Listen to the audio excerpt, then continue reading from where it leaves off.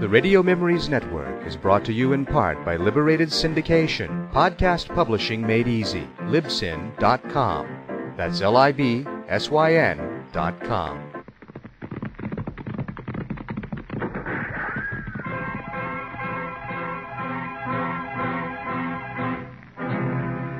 Around Dodge City and in the territory on West, there's just one way to handle the killers and the spoilers, and that's with a U.S. Marshal and the smell of gun smoke.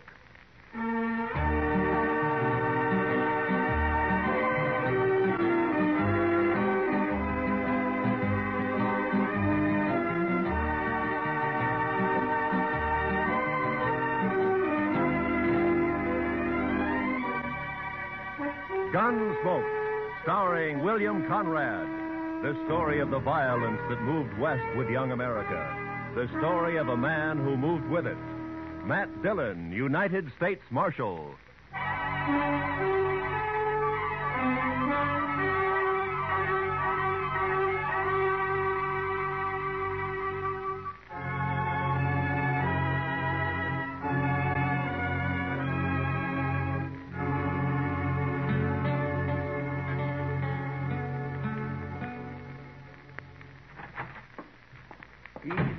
Up there, Mr. Dillon. He's just plain vanished. There's no note anywhere. You sure of that, Chester? Nothing, sir. I looked again, all over. Well, it's two days now. This isn't like Doc.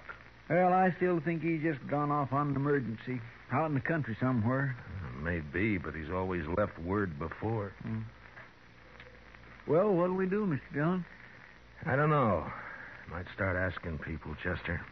Uh, try the saloons and the store and maybe maybe the depot, huh? All right, Mr. Dillon, I'll go right now. All right. Well, well, I do declare, What? riding right up Front Street as big as life.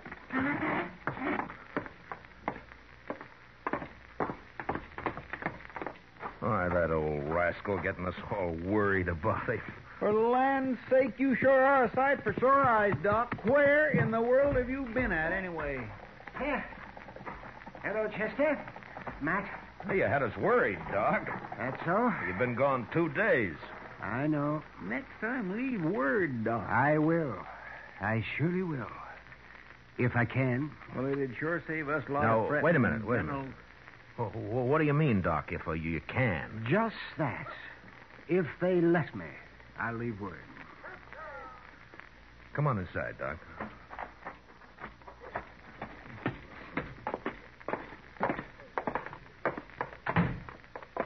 Well, all right. I'm curious, Doc. You want to tell me about it? I can tell you part of it, the least important part. I made a promise about the rest. You know how it is, Matt. No, but you tell me. Well, the other night, Wednesday it was, I was peacefully asleep on my couch when a couple of riders tromped right into my office. They said a man was hurt somewhere out past Fort Dodge. So naturally, I got up and I went along with them. Well, then why didn't you leave a note and say so? They didn't tell me exactly where we was going, Chester. But they sure told me not to leave any note. They told you what? Let him talk, Chester. Now, of course, I figured then there must have been a shooting, but my job's to take care of everybody, sinner and saved alike. And so, when finally we got to this place the next day, What place? that's part of what I promised not to tell, Chester. But like I was saying, there was a young man there who'd got himself shot in the back. The bullet lodged right in his spine. And I dug it out, and I did all I could for him. And then I just sat there for quite a spell. And then I put my things away. And I walked out into the other room. Well, Doc, how is it? I did what I could. What do you mean? He's dead. The shock of extracting that bullet was too much for him. It's a bad place, to spine there. You killed him, huh, Doc? No. No, I didn't kill him. He's dead, ain't he? Look, mister, doctors don't kill people. Murderers. Watch do. your mouth, Doc. That boy wouldn't have lived more than a couple of days with that bullet where it was. And whoever put it there murdered him. You want me to shut him up? Not yet. Doc, tell me something. You know that boy in there? I do. Sure. And the three of us here, you know any of us? Uh, him. I've seen him around somewheres. Dodge, I guess. Well, that settles it. He ain't walking out of here. Shut up. Know his name, Doc? No. No, I don't. Of course, it might come to me. Let me think now. Now, you don't understand, Doc. He wants to kill you already. Now you're trying to remember his name. That's just going to make it worse. You can't kill a doctor for following his oath. Oh, no? I shot that boy when he tried to get away, and I shoot you just as. Don't be a fool. I'm a doctor. Since there's nothing more I can do here, I got to be available to other patients. I've been away too long. No, what are we arguing about? Sooner we shoot him, the better. What kind of a man are you, anyways? Don't you know I'm the only doctor within a hundred miles of Dodge? Right now, it's one too many. Now, wait a minute. I'm kind of thinking the doc's right. He ain't like an ordinary man. But doctor, well, it's almost like he ain't quite human somehow. He's human enough to tell what he knows that hard-headed marshal they got in Dodge. Then we'll have him on our tail. We'll never get our 20000 Uh-uh. Well, I figure it's us or the doc. I'm not interested in what you figure, mister. Right this minute, there may be some woman having a baby and needing me real bad. There may be several folk needing me for help. He's right. We can't kill him. I can't. You'll do what I say and nothing else, here? Oh. Doc, listen to me. If I let you go, will you promise not to tell about anybody you recognized here? And if I don't? And doctor or no doctor, I'll kill you myself. Yeah, I suppose you would. All right. I'm here as a doctor and nothing else. I promise. Word of honor, Doc? That's my word of honor. Okay, get out. One other thing, Doc. What? You break your word. You tell anybody where this place is or who you saw here, and we'll get to you. We'll kill you no matter where you try to hide. I gave him my word, didn't I? Sure, but don't forget what I said anyway. Don't forget for one minute. We'll kill you or die trying.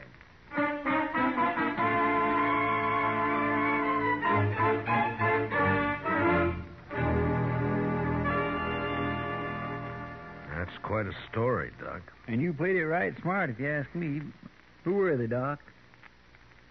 Well, tell us. Well, I only recognized one of them, Chester. Besides the man they'd shot. So you said. Uh, ha- have you thought of his name No, Chester, you don't understand. I, I gave him a word I wouldn't tell. Yes, but that was just so you could get away. Well, they'd have shot me for sure otherwise, but still I gave my word. It don't matter how or why. But, Doc, they're just a bunch of killers. I know. Leave him alone, Chester. But, Mr. Dillon. Yes, sir. Matt, Yeah, Doc. wouldn't you do the same if you were in my boots? That'd be a hard choice, Doc, but. Yeah, I suppose I would. Why, any man would. Leastwise, any man of honor would. I guess I wasn't really thinking about it that way. Yeah, well, I, I'm going to get some sleep. Uh, uh, Matt, that was a good boy they murdered. I, uh, I hope they hang for it. Oh, Dad blasted him. How are we ever going to find him, Mr. Dillon? I don't know, Chester. We don't even know who they killed. Funny we haven't heard about it. Maybe nobody's missed him yet. Just think. Doc could lead us straight to him right now. Well, that isn't making the doc happy, Chester. No, sir, it sure isn't. I'm going over to the Texas Trail, Chester. I'll be back later. Yes, sir.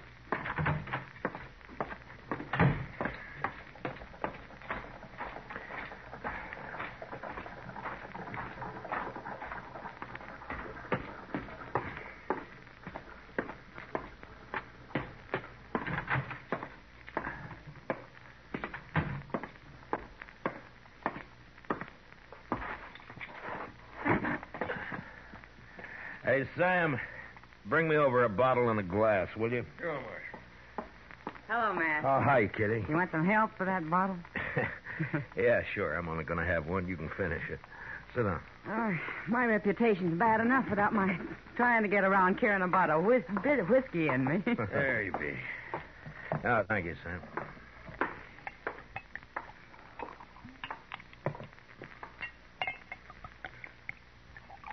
There you are, Kitty. Here's to luck. yeah, I could use some. Well, you didn't come here to drink a bottle of rye, Matt. What's on your mind? Well, Kitty, I was sort of wondering if uh, maybe you'd heard any talk about uh, anybody being missing lately. Missing? Who? Well, that's just the point. I, I I don't know who. Well, you're not on much of a trail, are you, Matt? Well, a man was shot and he's dead, and I don't know who he was or who did it or where. All I know is that it happened. Well, I'll be darned. Well, Matt, I don't know a thing I've heard that'd help. I'm sorry. Yeah, it was just a chance. You know, it's not often a man gets shot around here without everybody knowing about it. Well, I'm glad for that much, anyway. Well, thanks, Kitty. Well, good luck, Matt. Yeah, take it easy with that bottle. Yeah, I'll save it for you. So long. See you, Matt.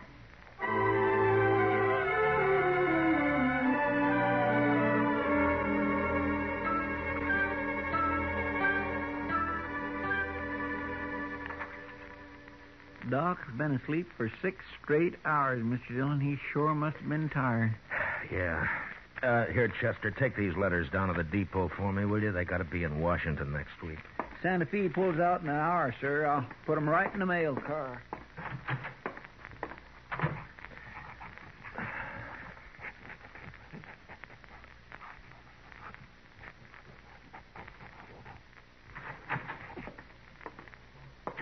Marshal? Why, Jake Worth. Why, you haven't come into Dodge in the last six months that I know of. I'm here now, Marshal. Oh? Uh, trouble, Jake? I'd call it that. Well? You know that cottonwood, the big one down at Brandy Bend? Yeah? There's a hole cut down by the roots at the north side of it. I put a sack in that hole this morning. It's got $20,000 in it. That's a lot of money, Jake, even for you. It isn't if Hank gets back all right. Hank? That's your youngest boy, isn't it, Jake? Yeah, 18 last month. Yeah. And that's ransom money. Your boy's been kidnapped, huh? He didn't show up the other night, Marshal. Next morning, I found a note tacked on the corral. Said to leave the money or they'd kill him. Well, come on, Jake. We'll try to get there before they pick up the money. No, Marshal, I won't take any chances. They'd shoot him sure if we did that. You should have told me before you left the money. You should have come here first, you know? You didn't hear what I said, Marshal. I won't take the chance. All I want now is for you to watch for anybody who turns up rich around here. Jake, I want you to listen to me. Now, you listen to me, Marshal. Nobody is going to do a thing till Hank's back safe on the ranch. Not one dang thing. Jake, if they killed Hank, you'd want him hung, wouldn't you? I'll hang him myself if it comes to that. I'll hunt him down like wolves. All right, then let's go. Let's get on to Brandy Bend and wait for him. No. I already told you no. Hank's dead, Jake. Huh? They already shot him. And he's dead. What are you talking about? Where is he? I don't know.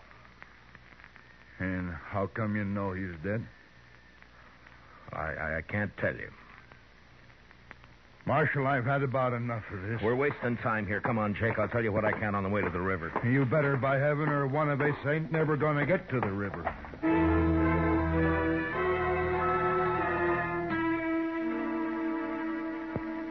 Jake Worth was known as a hard, hot tempered man, but he was straight as they come.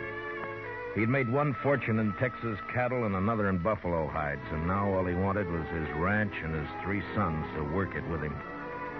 The Worths were good men. They didn't cause any trouble, and they worked hard. It was hard to tell Jake, but without mentioning Doc, I said what I could. And when we reached the Arkansas, we hid our horses in a clump of bush and worked our way on foot up to the big cottonwood. And I stood up and walked out into the open. What are you doing, Marshal? You gone crazy? Come on, Jake. No use to hide now. Oh. That's him there, isn't it? That's Hank. I'm afraid so, Jake.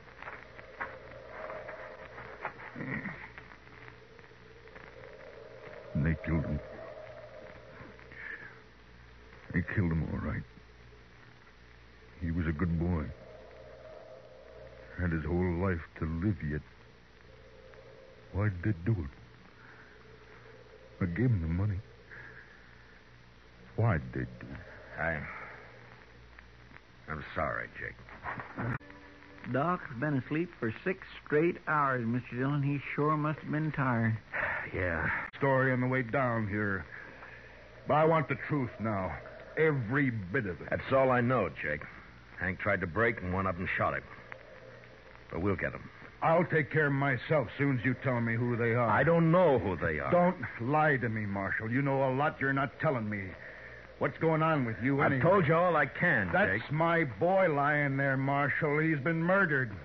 And if I didn't know you so well, I'd begin to think maybe you had something to do with Now, it just yourself. a minute, Jake. I know you're Then, upset. then why don't you tell me? Because the man who told me about it had to promise not to name anybody. That's why. What man? Who is he? I'll, I'll get it out of him if, if I have to cut it out. Yeah, I know. That's why I can't tell you who he is. What kind of a lawman are you, anyway? I've told you all I can, Jake. No.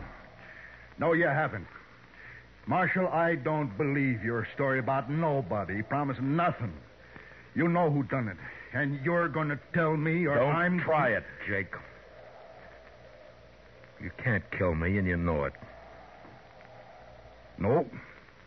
I can't. Me my boys can. And I'm giving you 24 hours to name those men, and then we're coming to Dodge. There'll be blood spilt, Marshal. Jake, I give you my word, I don't know who did it. I don't believe you. I'll help you take your boy home now. Oh, no. Go on back to Dodge. I'll manage here. You're making a bad mistake, Jake. 24 hours, Marshal. I'll be there. We'll find you wherever you'll be. Jake, I want. So long, Jake.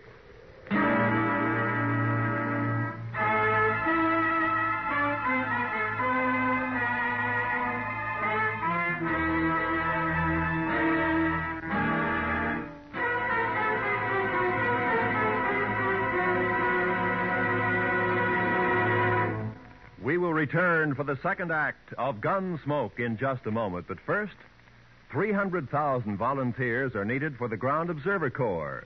This spare time activity serves as a vital supplement of the Air Defense Command radar network, which has certain unavoidable blind spots due to the curvature of the Earth.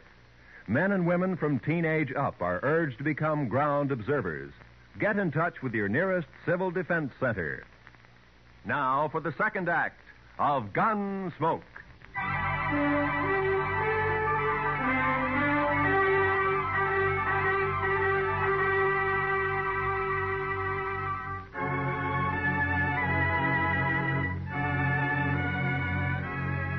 There was no use arguing with him. The man's grief had destroyed his reason. And the worst of it was, I knew his sons would do whatever Jake told them to do. Unless I could stop it somehow, I'd have to shoot it out with three good and perfectly innocent men. For no reason at all. I thought about it all the way back to Dodge, and by the time I got there, I had an idea. I went up to Doc's and talked it over with him. Well, all right, Matt. I'll, I'll do whatever I can. It might not work, Doc, and you'll be exposing yourself to a lot of danger. Have you thought about that? I have. I've also been thinking about the men who killed Hank Worth. Well, we could wait till they start spending their money, or till one of them gets drunk and maybe talks too much somewhere. We could, but meantime, you and the Worths will have a gunfight. Oh, man, it'd be a terrible thing to let happen. All right, then, Doc, let's go. I want to get to the ranch before dark. Yeah, maybe Jake's cooled off by now. Enough not to start shooting on sight anyway. Uh, we'll soon find out. Come on.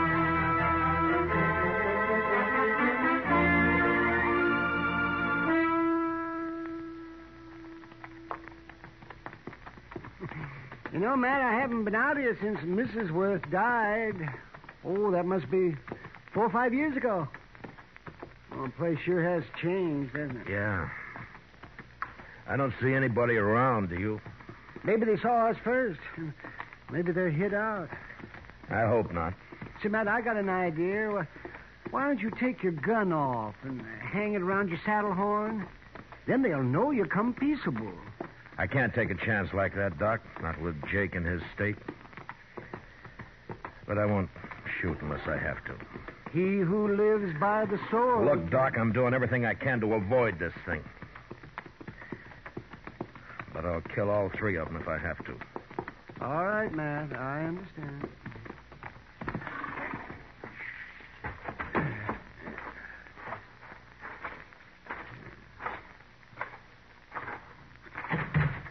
That's far enough, Marshal. Watch him, boys. If he makes a move, shoot. Yes, Sarge. Jake, I came here to stop a shooting, not to start one. You can stop it, Marshal. Just tell me who killed my son. I knew I'd be on his trail, Jake. I'm not sure of that at all. What's Doc doing here? Tell him, Doc.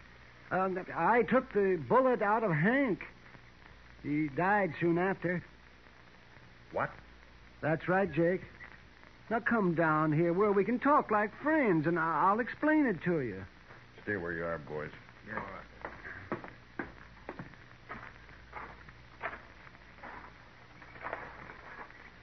All right, Doc, let's hear it. Well, they they got me out of bed, Jake, and they led me out into the country.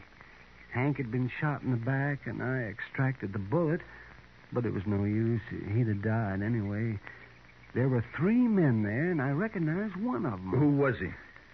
Well, I had to promise I wouldn't tell Jake, or, or they'd have killed me. That don't matter Now, now. think about it a minute, Jake. Doc gave him his word. And you're asking him to break it. Now, think about it for a minute. I'm thinking. Thinking about my boy, too. Hank's dead. You can't help him now. Shot in the back. And the coward who did it's running free. You want to help get him, Jake? Don't ask fool questions, Marshal. Of course I want to get him. Now, then listen to me. Those men told Doc if he talked, they'd kill him. Yeah, they meant it, too. All right, so I got an idea now, Jake. We'll spread it around that Doc has identified the killer. The news will reach him soon enough, and meantime, I'm going to lay low. And I'll have Chester tell everybody that I've ridden out after them. Uh, go on. Then we'll just wait. One or two, or maybe all three of them will come into Dodge to kill Doc some night soon. They still might get away. And I'll deputize you and your boys right now, and you can wait for them with us. You'll have to stay hidden like me, of course. Uh, we won't mind that. Now that we get a chance at them, we won't. All right, good. Yeah. Funny thing, though. What? Man like Doc here, rather than break his word, he'll make himself a target for those killers. Yeah. Look, Jake, Doc and I are going to go back to Dodge now. I'll see that the story gets started, and in a day or two, you and your boys can ride in, but separately, though. Otherwise, it might cause talk. I understand. And come straight to Doc's. We'll get there.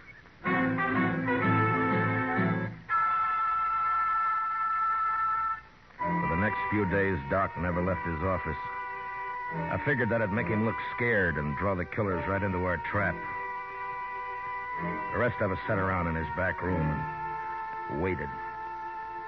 Chester kept us supplied with food and coffee, but we began to get pretty restless cooped up like that. And by the fifth night, we were being real careful with one another and over polite. But on the sixth night, about midnight, we got our game. Mr. Dillon, I think it's them. Where? They just rode up Front Street, three of them. They're tying up outside right now. They acted too deliberate like for ordinary riders, so I run up the back way to tell you. Doc, come on in. Uh, what do you want me to do, Mac? Take cover in here and stay out of sight. Yeah, whatever you say, Mac. Let's go downstairs and meet them, Marshal. No, we might just scatter them that way. Now listen. One of them will probably stand guard on the street while the other two come up here to get Doc. Chester, you and the two boys go down the back way. Jake and I'll wait in the doc's office. But don't jump that man till we go into action up here. Do you understand? I got it, sir. All right, then move fast. Come on, Jake. Now what? Well, we'll just wait here in the dark. Good. I'll fix Doc's blanket on the couch here so they won't think he's in it. They're on the stairs now. All right, get back in the corner, Jake, or we'll be shooting each other. All right. Quiet now. And don't start shooting till I do.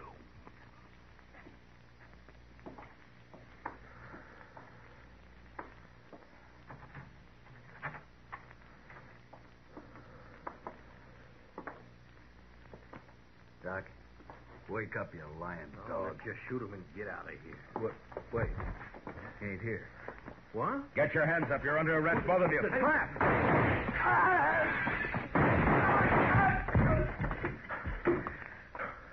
You all right, Jake? Got one of them. I'm all right. Doc? Doc, you can come on out now. Yeah, all, oh, all right, man. They're dead. Light the lamp, will you, Doc? Uh, all right. Yes, you bet, Matt. Light the lamp.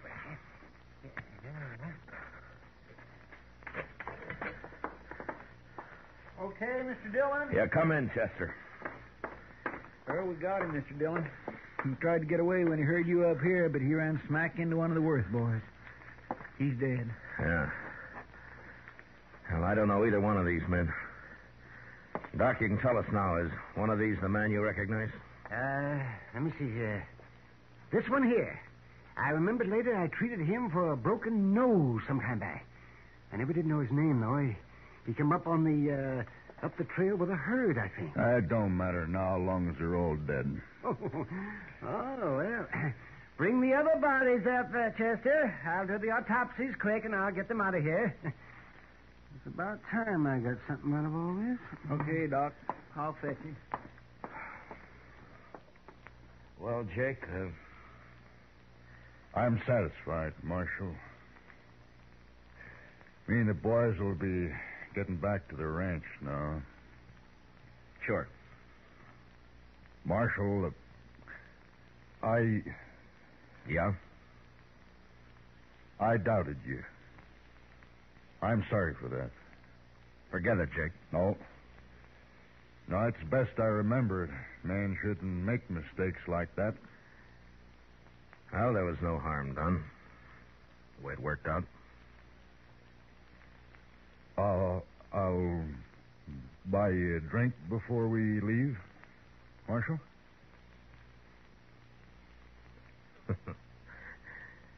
I think I'd like that, Jake. Come on, let's go.